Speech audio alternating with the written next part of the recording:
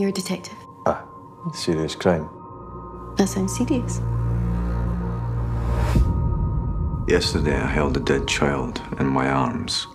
She'd been kidnapped, drugged, raped, and murdered. I failed her. I failed her mother. You told me you'd find her! You liars! Have you worked on many missing kids cases? There's no such thing. Kids just don't go missing. They've either fallen into a river, got trapped somewhere, or been abducted. Jesus. You can find them in here. The Andrews and Earnshaw murders. The killer has the same MO as the case of a wee girl I'm on. It's the same guy. who will prioritise the suspects that we have. Ray, what is this? The man who took their lives is still out there, and he won't let go.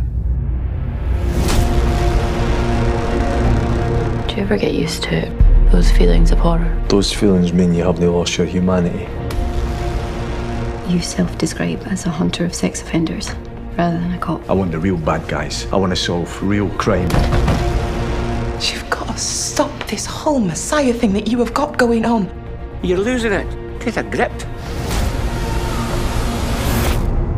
You will never save anyone else if you can't save yourself first pretty soon, you're gonna have some bad news, Ray Lennox.